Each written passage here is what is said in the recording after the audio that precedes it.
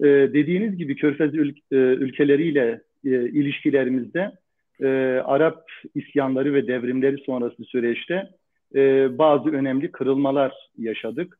E, malum 2014 yılında sonrasında 2017 yılında Körfez içi ilişkilerde ciddi kırılmalar yaşanmıştı.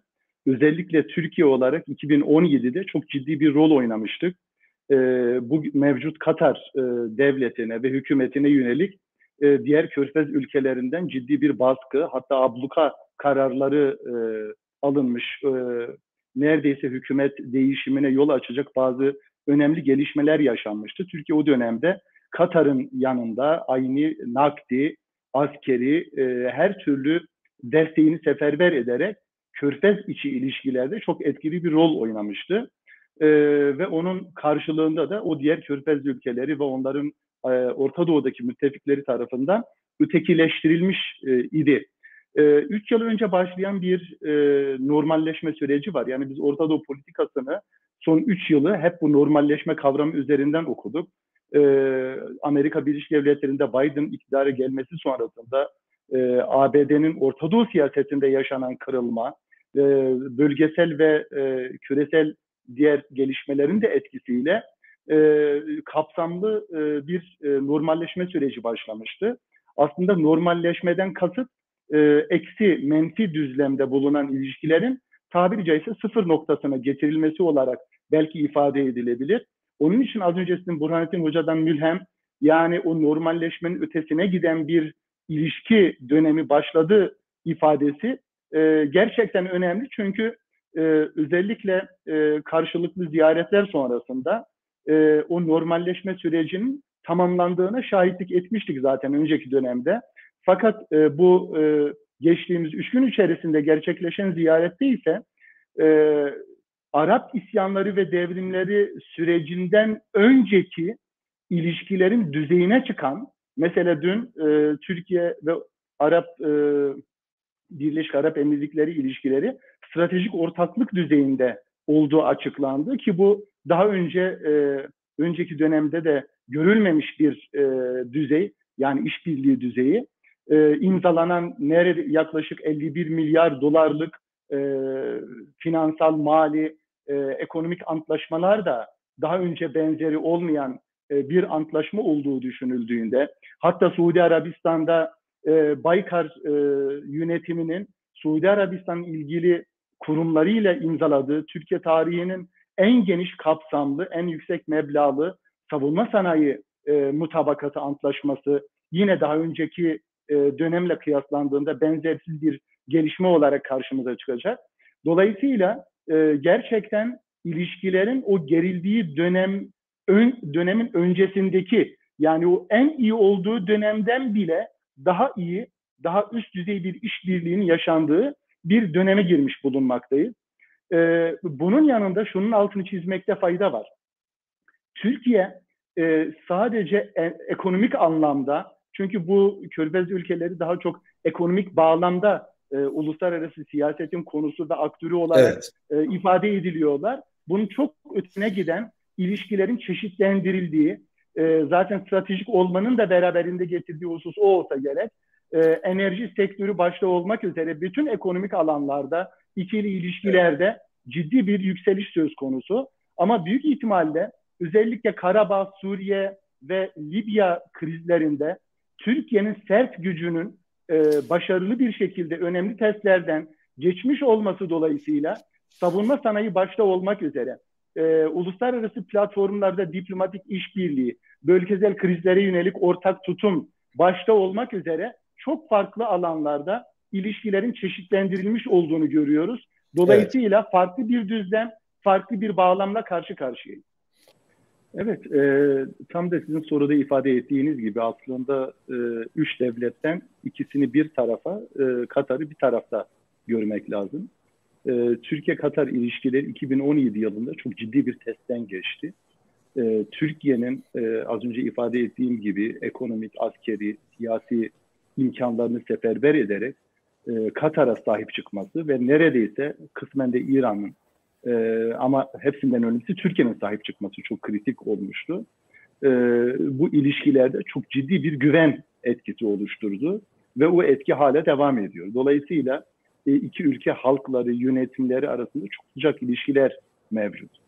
E, Suudi Arabistan ve Birleşik Arap Emirlikleri ile ilgili olarak da yine o sorundan hareketle ve onun dışında diğer bütün bölgesel perspektifleri, belki 2013 yılında e, sözde Arap Baharı'nın Arap kışına çevrilmesi yani Mısır'daki askeri darbe sonrasında yaşanan gelişmelerle beraber ciddi bir gerilim olmuştu.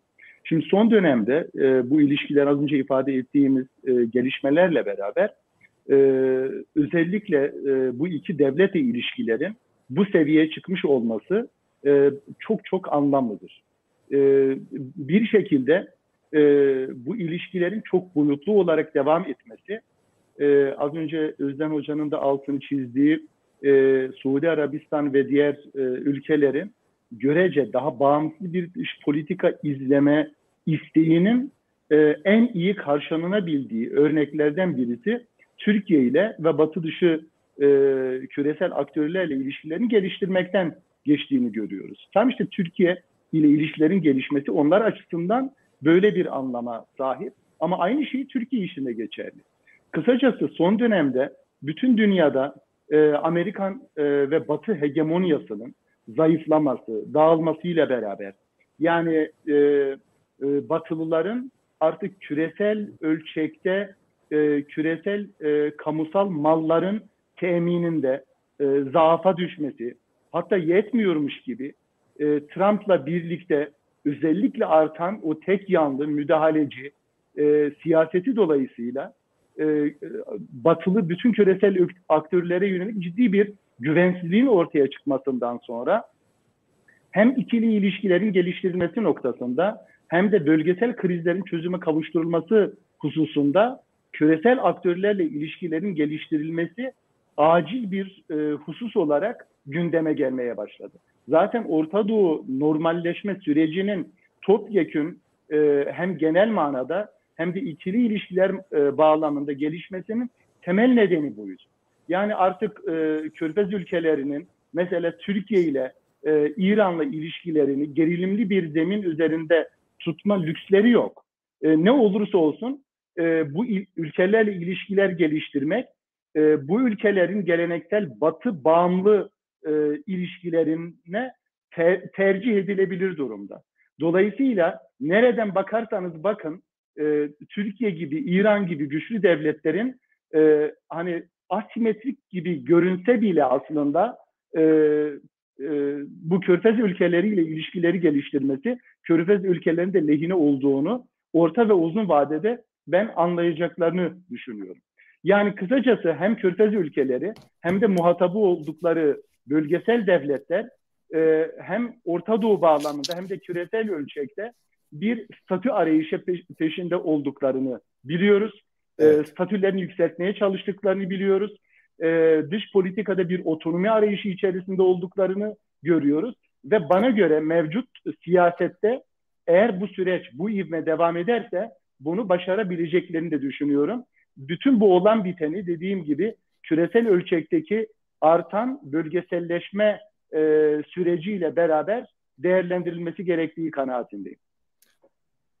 Yani ilk akla gelen bence hem Türkiye'nin hem de Orta Doğu'nun diğer bölge ülkelerinin dış politikaları çeşitlendirerek e, otonomilerini arttırmaları. Bu çok önemli çünkü bunun hem bölgesel hem de küresel implikasyonları olacaktır. Mutlaka hı. olacak.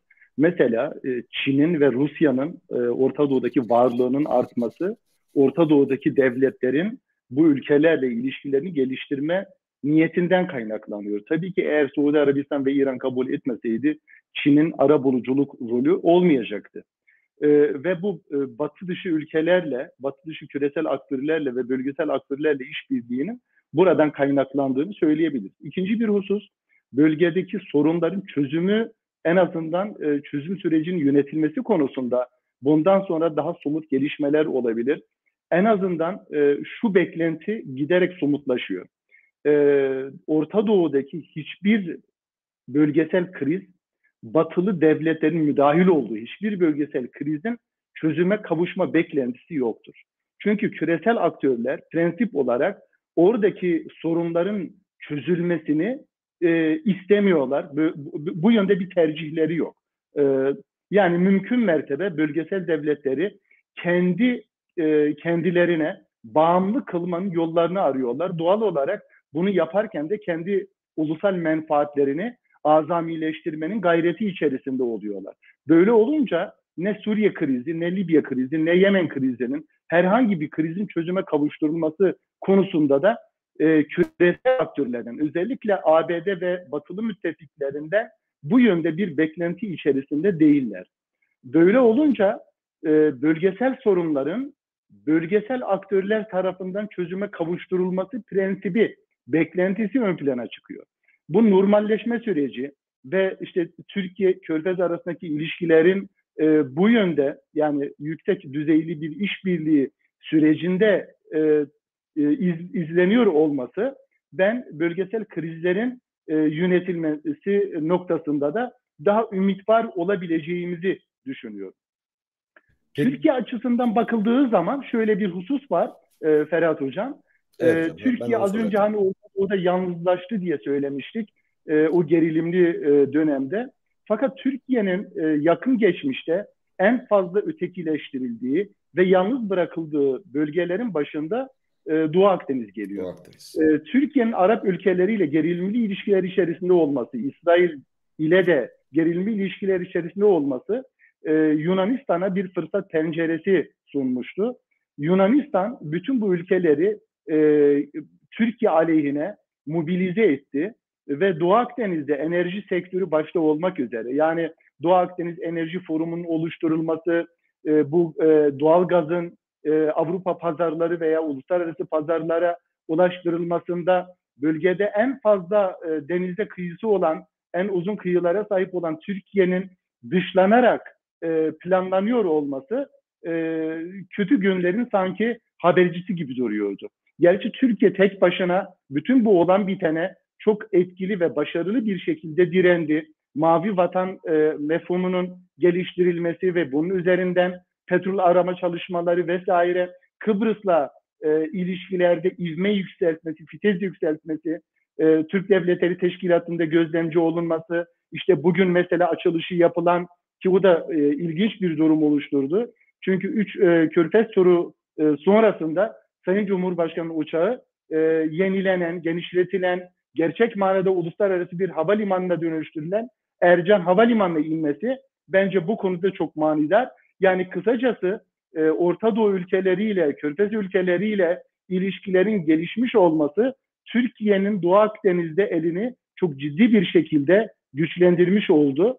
Daha da önemlisi benzer şekilde Türkiye'nin Kör, e, Körfez ülkeleriyle bu kadar e, çok yönlü bir ilişki geliştirmiş olması Türkiye'nin Batı nezdindeki bana göre kıymetini de arttırmış e, oldu. Aynı zamanda hani Vilnius'ta çok önemli bir kırılma kırılmaya tanıklık ettik. O da daha bir hafta önceydi.